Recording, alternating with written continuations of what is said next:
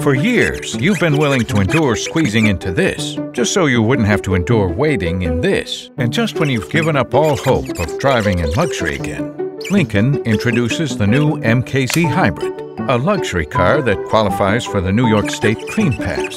Where can you get one?